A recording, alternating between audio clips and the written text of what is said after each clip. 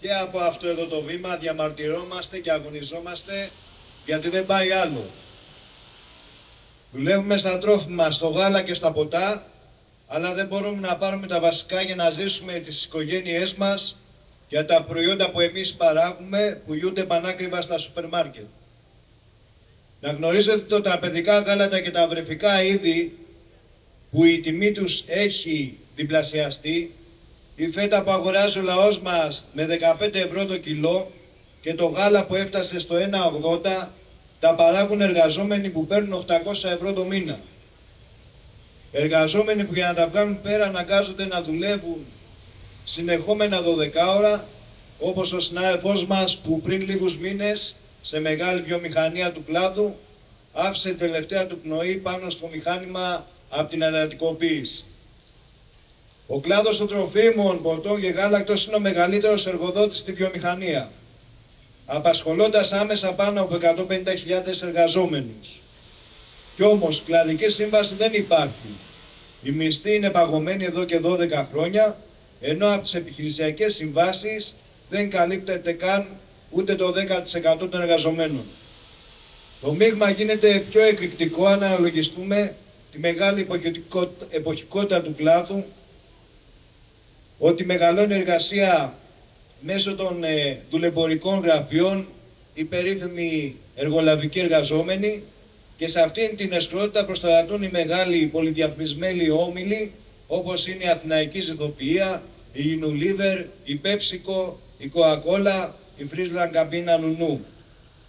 Ακόμα και περιπτώσεις που, είναι, που το ειδικευμένο προσωπικό με επάγγελμα δεν ξεπερνά το 10 με 15% σε μια βιομηχανία και με προπηρεσία και προσόντα που βρίσκονται πίσω από το 2012 δεν ξεπερνά τα 1500 ευρώ μεικτά.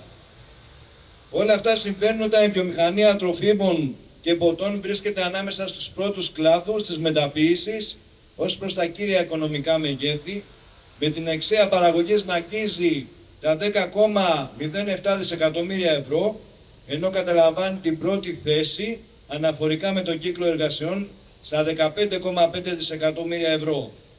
Τα κέρδη των επιχειρήσεων κατέγραψαν ρεκόρ 2,57 δισεκατομμύρια ευρώ το 2022 από 1,94 δισεκατομμύρια το 2021. Η οικονομική κατάσταση λοιπόν για τους βιομήχανους και τους μετόχους των ομίλων είναι σε ανωδική πορεία από την, πορεία, από την περίοδο της πανδημίας αξιοποιώντας το ζεστό χρήμα που έδωσε η κυβέρνηση αλλά και βεβαίως από τις εξαγωγές. Ταυτόχρονα ξεδιπλώνεται το κύμα ακρίβειας και ιδιαίτερα στα τρόφιμα που σαρώνουν τα λαϊκά εισοδήματα και που είναι αποτέλεσμα των σφοδρών ανταγωνισμών ανάμεσα σε μεγάλους ομίλους του κλάδου. Παράδειγμα, η μέση τιμή του γάλακτος από τον παραγωγό είναι 1,4 ευρώ το λίτρο και η τιμή της φέτας στο ράφι να έχει φτάσει στα 15 ευρώ. Μπροστά σε αυτήν τη διαμορφωμένη πραγματικότητα η Ομοσπονδία μαζί με κλαδικά αλλά και τα επιχειρησιακά σωματεία σε διπλώνει αγωνιστικό σχέδιο για την ύπαρξη και υπογραφή κλαδικών συλλογικών συμβάσεων εργασίας σε όλους τους υποκλάδους αλλά και επιχειρησιακών συμβάσεων με αυξήσεις του μισθούς στη διεύρυνση δικαιωμάτων που τα επιχειρησιακά σωματεία έχουν αναλάβει να είναι προς το φυλακή και οι μονάδες κρούσης στην πρώτη γραμμή στον πόλεμο που έχουν κηρύξει η βιομήχανη και εργοδοσία. Τα πρώτα αποτελέσματα είναι ορατά, όπως η υπογραφή συλλογικής σύμβασης εργασίας στη γαλακτοβιομηχανία Δέλτα εδώ στην Αττική, μετά και από αγωνιστικέ αποφάσεις των εργαζομένων και του σωματείου τους, που πέτυχαν αυξήσεις από 6 έως 17,5%. Σε συνέχεια αυτής της προσπάθειας βρίσκονται 30 επιχειρησιακά σωματεία και 20 κλαδικά συνδικάτα και αυτό μας κάνει αισιόδοξο ότι θα τα καταφέρουμε να σπάσουμε τον μπλοκ που έχουν διαμορφώσει από κοινού κυβερνήσεις και ΣΕΒ.